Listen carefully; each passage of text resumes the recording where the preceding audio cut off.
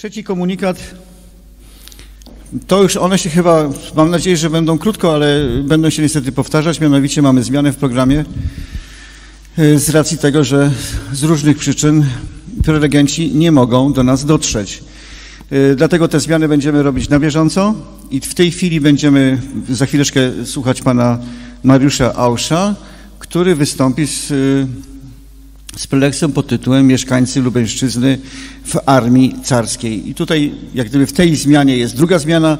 Razem z nim miał wystąpić nasz kolega Piotr Glądała, też niestety z Lublina nie mógł do nas dotrzeć. Czy pan Mariusz jest z nami? Jest. Cieszymy się, że możemy się spotkać. E, mieszkańcy Lubelszczyzny w Armii Carskiej. E, pan Mariusz jest e, pracownikiem Instytutu Historii UMCS-u, prezes Lubelskiego Towarzystwa Genealogicznego. Tym bardziej miło. Wystąpienie przedstawi informacje na temat bazy internetowej pod tytułem Mieszkańcy Lubelszczyzny w Armii Carskiej. To tak a propos tego poprzedniego wykładu, gdzie chodziło o wkłady, małe, małe projekty, małych, małych przepraszam, Oddaję głos. Dzień dobry Państwu, dziękuję za możliwość e, wystąpienia, za zaproszenie.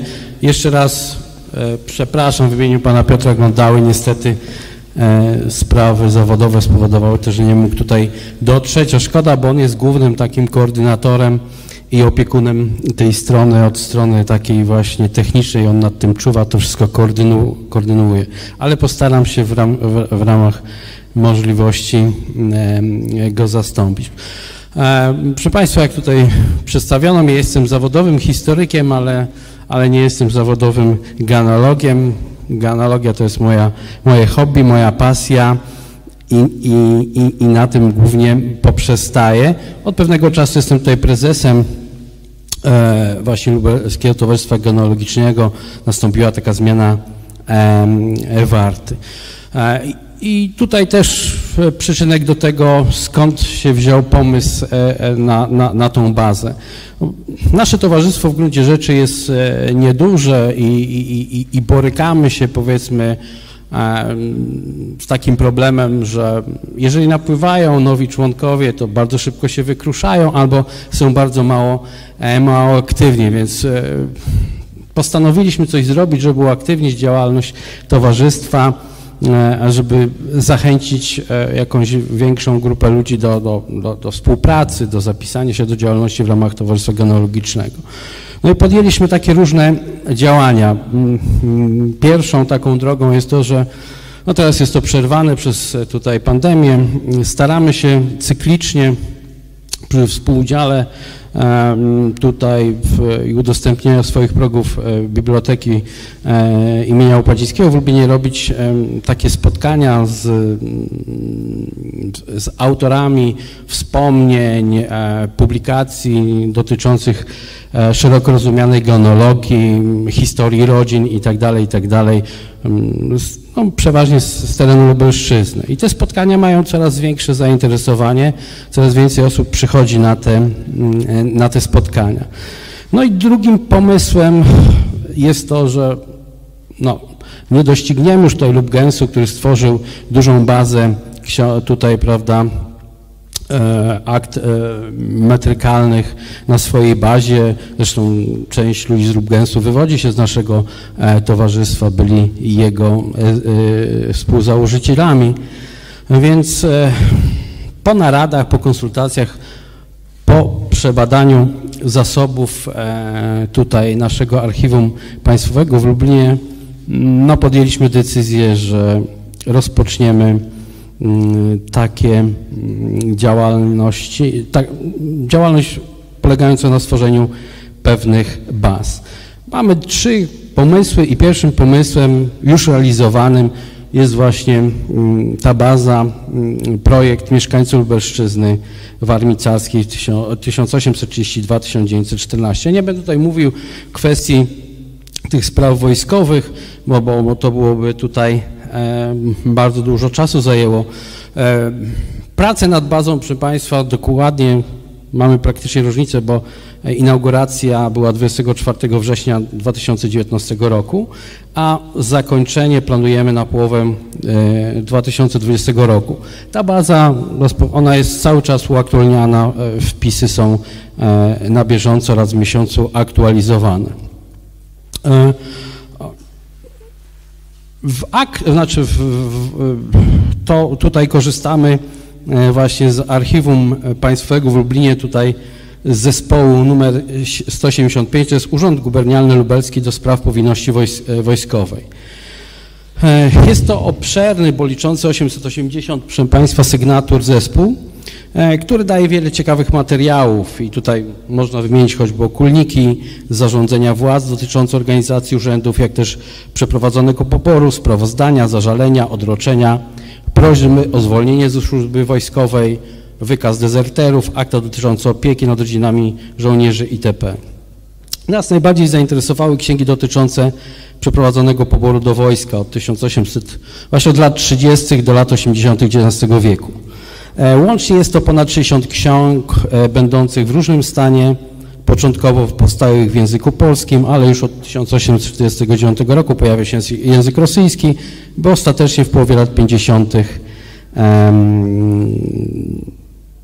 no, ten język stał się obowiązkowy i, i, i tutaj wszystkie te księgi już były w tym języku tworzone. Przeważnie każdy rocznik jest podzielony na dwie księgi. Pierwsza, która jest pisem alfabetycznym z podziałem na imię, wiek, obwód, z którego nastąpi pobór oraz oddział, do którego um, rekrut trafił. I proszę Państwa, i tu od razu słowem e, rozszerzenia. Pierwszy problem jest to w tej chwili e, znajomość języka rosyjskiego. Tak? Coraz mniej osób tym językiem się posługuje, albo posługuje się dobrze, a pamiętajmy, że to są jeszcze E, jest to jeszcze język rosyjski przed tą wielką reformą gramatyki z 1921 roku, więc tutaj też trzeba umieć to odpowiednio odczytywać, czy znać, e, prawda, krój liter. E, proszę Państwa, jak myśmy sobie poradzili z tymi tłumaczeniami i tak dalej? Tutaj może też to być taka podpowiedź dla innych towarzystw, które wiadomo, my się borykamy z, z finansami i tak dalej, i tak. My, proszę Państwa, podpisujemy umowy e, z Katedrą Lingwistyki UMCS i po prostu e, studenci pod kierunkiem e, wykładowców robią nam tłumaczenia. Robią to bezpłatnie w ramach praktyk. Uczelnie bardzo chętnie w tej chwili robią, bo, bo takie rzeczy są ważne w tej chwili przy ewaluacji i, i z tym nie ma większego problemu, więc oni są nawet zadowoleni, że mogą łatwiej zorganizować dla studentów praktyki, więc tutaj ten problem e, e, finansowy odchodzi. Korzystamy także e, tutaj, ponieważ podpisaliśmy też współpracę w tej chwili z Instytutem Historii UMCS, będziemy korzystać właśnie z pomocy także studentów, którzy pochodzą za wschodniej granicy. I, I proszę Państwa, druga to jest spis formalny. Tutaj znajdziemy rozszerzenie informacji o rekrucie, jego imię, ojca, wiek, miejscowość, z której pochodził, informacje o stanie cywilnym i społecznym, umiejętnościach, no tutaj, prawda, czy potrafi pisać, czy nie, rysopisie oraz prowadzonej korespondencji o rekrucie. Niestety nie zawsze zachowane są obie księgi, a sytuacja znacznie komplikuje się w późniejszym e, okresie. Hmm, no, bardzo mało ksiąg jest z lat 90. XIX wieku i z początku XX e, wieku. Z tego, co robimy rozeznanie, te księgi najprawdopodobniej mogą być e, w Wilnie, ponieważ w czasie, w 1915 roku część archiwaliów, a szczególnie administracji e, tutaj rosyjskiej została ewakuowana i ona miała być przywieziona do Petersburga. Ostatecznie została w Wilnie i tam te materiały dotyczące Lublina się znajdują i, i trzeba byłoby się chyba wybrać do Wilna i zrobić kwerentę, czy te księgi także tam się e, znajdują. Proszę Państwa, żeby bardziej spopularyzować też e, ten nasz e, projekt, e, E, inauguracja była oświetlona mm, wystąpieniem profesora Jacka Legiecia z Kielc, znawcy tego tematu. On tutaj wygłosił odczyt pobór rekrutów z Królestwa Polskiego do Armii Carskiej w latach 1874-1914. pan profesor Legieć specjalizuje się w kwestii wojska rosyjskiego i Polaków w armii rosyjskiej w, tym, w drugiej połowie XIX wieku. Proszę Państwa, projekt jest wzięty pod patronat honorowy marszałka województwa lubelskiego pana Jarosława Stawiarskiego. Został włączony przez Biuro Niepodległej w obchody stulecia odzyskania niepodległości oraz odbudowy polskiej e, państwowości.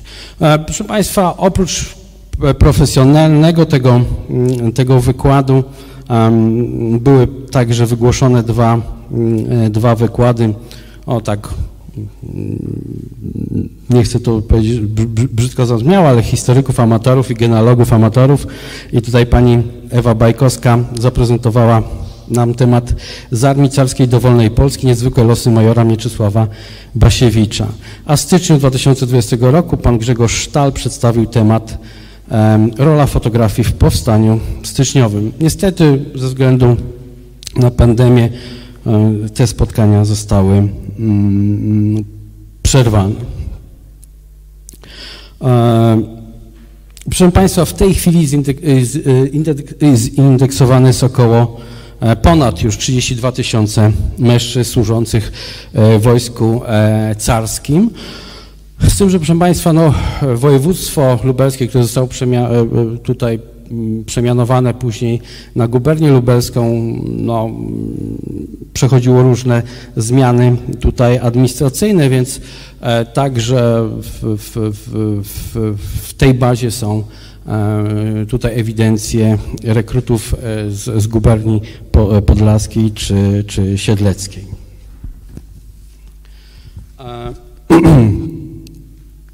Proszę Państwa, i tutaj może już poproszę, żeby wejść na tą bazę, bazę rekrutów. Może nazwiska, nie wiem, od FJ albo żeby tak.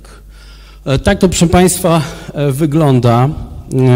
Baza skonstruowana jest z 13 kolumn, które najogólniej możemy podzielić na cztery części. Pierwsza to jest identyfikacja rekruta, gdzie podajemy imię i nazwisko, imię ojca, wiek, informacje związane z poborem, to jest miejsce poboru, rok, jednostka, do której trafił, e, informacje uzupełniające o rekrucie, to jest stan cywilny, społeczny, adnotacje o śmierci. Czwarta to przypis bibliograficzny, tutaj podajemy gdzie przechowane są księgi, jaki jest numer, e, numer, e, numer e, zespołu.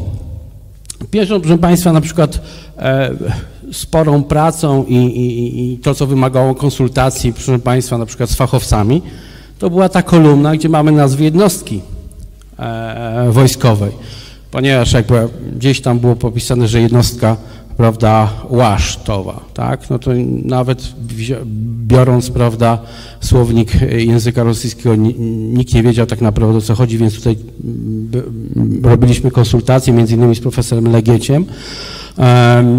Oczywiście też staraliśmy uniknąć rusycyzmu w, w nazwach jednostek, także e, tutaj też wymagało to całkiem sporej pracy, żeby po prostu te jednostki w miarę poprawnie Mm, e, brzmiały po polsku i były właściwie, były właściwie e, nazwane. E, proszę Państwa, co jeszcze planujemy? Planujemy rozszerzenie, powiększenie tutaj możliwości tej bazy. Chcemy ją w przyszłości uzupełnić także o E, fotografie czy, czy skaz, e, fotografie e, konkretnych stron ksiąg. Niestety wymaga to nakładu około 12 tysięcy złotych. Startowaliśmy już jednym grancie, no, udało nam się nawet uzyskać niezłą liczbę punktów, ale niestety ostatecznie nie dostaliśmy, ale nie będziemy rezygnować, będziemy starali się pozyskać pieniądze po to, żeby zwiększyć możliwości techniczne tej bazy i także, żeby była uzupełniona właśnie o e, zdjęcia, e, zdjęcia tych ksiąg. E, no tutaj już tutaj podsumowując tak naprawdę, szczerze mówiąc, byliśmy zaskoczeni, zaskoczeni, proszę Państwa, oddźwiękiem. E, okazuje się, że ten projekt wzbudził bardzo duże zainteresowanie. Mamy bardzo dużo pytań, e, nawet już ludzi, którzy nie pochodzą z Lubelszczyzny, gdzieś tam e, gubernia kielecka i tak dalej, szukają informacji na temat, bo gdzieś dziadek służył i tak dalej. Naprawdę nie myśleliśmy, że ten projekt wzbudzi takie zainteresowanie. Tworzenie projektu w tej chwili właśnie w spisywanie, tłumaczenie, e, obsługę strony jest zaangażowanych e, kilkanaście osób. Cieszymy się z tego, że to są także osoby, które jeszcze nie są nawet członkami e, LTG, ale no, bawią się ganologią i, i zaoferowały nam tutaj swoją współpracę. Mamy nadzieję, że będziemy rozwijać taką działalność. Kiedy skończymy ten, wchodzimy z drugim projektem, gdzie wiemy, że już są ludzie zainteresowani e, takimi informacjami. Na razie nie będę zdradzał, żeby ktoś nas nie ubiegł. E, niewątpliwie, proszę Państwa, e, największym problemem w tej chwili jest e, pozyskanie ludzi, którzy dobrze posługują się językiem rosyjskim i to jest największe największe wyzwanie no, oraz no, ta powiedzmy deklaracja no, dłuższej współpracy i dosyć żmudnej pracy na tym spisywaniu i indeksowaniu. Więc e, to chyba tak krótko, ewentualnie jakby były jakieś pytania, to, to proszę bardzo. Mam, mamy jeszcze chwilę czasu, więc te pytania jak najbardziej wskazane. Już idę. Już momencik.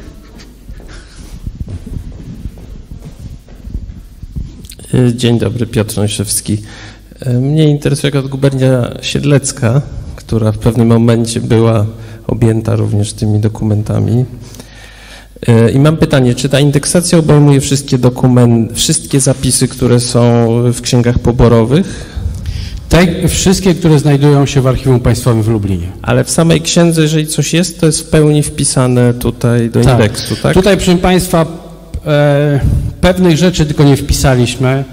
Na przykład takie informacje, że szrama na, na gdzieś tam na policzku i tak dalej, czyli takie, czy utykał na lewą nogę. E, proszę Państwa, czym to było spowodowane? No przede wszystkim możliwościami technicznymi.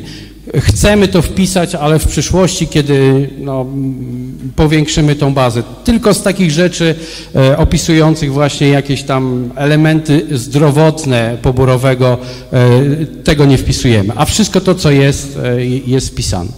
I jeszcze pytanie, czy dla tych poborowych zachowały się tam też takie zwykle tworzone dla tych ludzi indywidualne dokumenty poborowego, takie po komisji, gdzie opisywano, czy miał tyle wzrostu, tyle, gdzie służył, czy...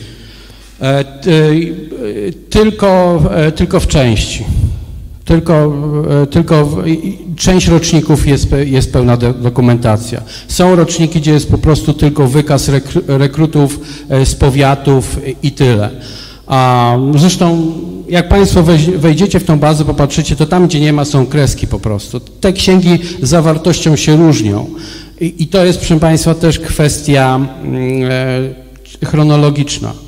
Najmniej te, powiedzmy, szczegółowe są z tego pierwszego okresu, kiedy jeszcze też i były pisane w języku polskim. Powiedzmy, w wyniku tej rusyfikacji, szczególnie po, e, po, po powstaniu styczniowym, te, te, te, te adnotacje są takie bardziej zbiurokratyzowane i, i, i, i, dokładne, łącznie to czy ma żonę, czy zabiera, czy żona dostała paszport i tak dalej, i tak dalej, także to wszystko jest. Okej, okay, ale y, może żebym tak zrozumiał, one są robione według y, ksiąg, które tworzono, czy też według indywidualnych kwestionariuszy, ta indeksacja? Czy kwestionariusze są jakby obok i na razie jakby tutaj Obok. Obok, czyli rozumiem, że wtedy trzeba by, jeżeli się znajdzie tu jakiegoś człowieka, udać się do archiwum i Tak, dlatego, dlatego my podajemy tutaj, prawda, od, od razu sygnatury. Leszek Zakrzewski, Archiwum Maktynowych. Ja jeszcze chciałbym dopytać, bo może mi to jakoś umknęło. Jakie są liczby, ile jest osób w tej bazie danych? Y, I p- druga sprawa, czy one zostały, czy ta baza została poddana takiej socjologicznej analizie, czy ktoś się tym zajmował, to znaczy y, no ile, ale skąd te osoby są, znaczy wiem, że z Lubelszczyzny, ale z jakich konkretnie miejsc, powiatów, y, jakie jest ich pochodzenie społeczne? Y, i tego typu dane. W tej chwili jest wpisanych ponad, e, ponad 32 tysiące e, i, no i trudno mi powiedzieć, do jakiej liczby dojdziemy, bo jeszcze nie są wpisane. Nie. E, Coś takiego, żadnej jeszcze powiedzmy takiego opisu, syntezy czy, czy, czy jakichś badań nie dokonaliśmy, bo no proszę Państwa, pamiętajmy to, że jest, prace zostały spowolnione przez koronawirusa, więc w- to, co zdążyliśmy tak naprawdę zrobić, w tej chwili na przykład w Lublinie są wydawane, jak się pójdzie dziennie, trzy jednostki i- tyle, więc my chcielibyśmy to zrobić. Je- Jeżeli damy radę, e, to coś takiego zrobimy. My na koniec, jeszcze co nie powiedziałem, jeszcze raz to wszystko przeanalizujemy i chcemy właśnie też e, za pomocą studentów archiwistyki jeszcze raz sprawdzić wszystko i, i- usunąć ewentualne jakieś błędy, prawda, pomyłki, e, czy, czy po prostu czeskie błędy też czasami, zamienienie cyfr i tak dalej, więc najpierw zrobimy taką, powiedzmy, to na pewno zrobimy taką powiedzmy, no, sprawdzenie e, poprawności, usunięcie wszystkich błędów, a taką analizę socjologiczną, no, no chcielibyśmy zrobić, tak. Ale to myślę, że to jeszcze e, e, będzie wymagało trochę czasu. Dobrze, bardzo dziękujemy. Ja tylko zapytam, bo czy to, y, jeżeli to jest Lubelszczyzna, czy jeżeli y, gubernia na przykład Kaliska czy Radomska, to oni też mieli własne spisy poborów, czy to Tak. po, poborowych, tak? Mhm. Czy w każdej takiej guberni teoretycznie można znaleźć swojego, mówię teoretycznie. No tutaj mówię, wcho, wchodzi też czasami Podlaska, bo, bo ponieważ Siedlecka została wyło, y, wydzielona, to były te y, zmiany granic, y, resztki, tak. Mhm. Bardzo, bardzo dziękujemy za przedstawienie tego projektu. Dziękuję bardzo. Proszę Państwa, jeżeli jakieś pytania też, czy, czy, czy, to zapraszamy na forum, strony i jesteśmy bardzo otwarci. Dziękuję bardzo. Dziękujemy. To też przykład tego lokalnego, takiego y, małego, przepraszam za słowo małego, y, programu genealogicznego, który potem może być rozwijany i w, w, y, w kooperacji, jak tutaj kolega ujął, w kooperacji z dużymi portalami genealogicznymi może to być rozwijane z korzyścią dla wszystkich. No i też dla mnie przykład tego, że powinniśmy dalej szukać nie tylko w oficjalnych, znaczy w takich y, bardziej może niszowych dokumentach swoich przodków.